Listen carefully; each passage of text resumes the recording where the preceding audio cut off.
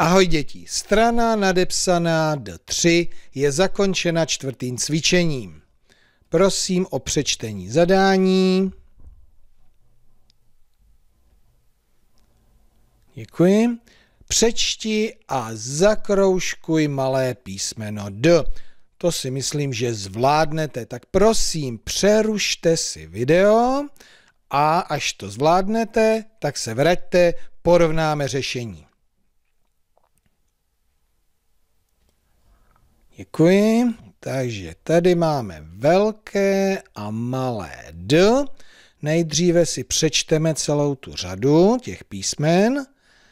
D, A, P, M, D, E, V, D, J, D, Z. A nyní do kroužku malé D. Tak je tady. Pozor! Máte? Nemáte, ano. To je podobné písmeno, ale je to písmeno P. Tady má ten bochánek dozadu a tady to vypadá jako praporek. Takže tohle je P. D je tady. Další tady. A další ještě tady zkontrolujeme s tímhle řešením. A já si myslím, že vy jste se nenechali tady napálit. Dobře, mám to stejně a vy určitě také. No a ještě si procvičíme znalost malých písmen. D. D. Tady dozadu.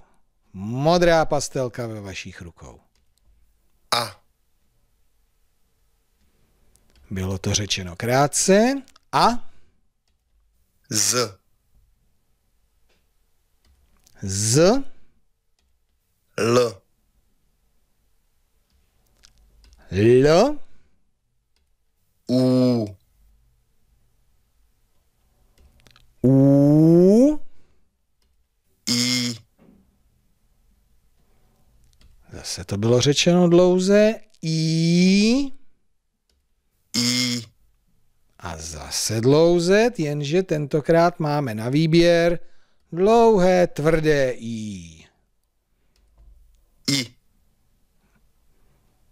I nám nedají pokoj, tentokrát krátce.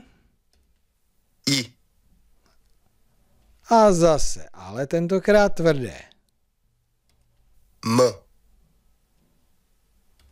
M. A. A. V. V. O. O. E.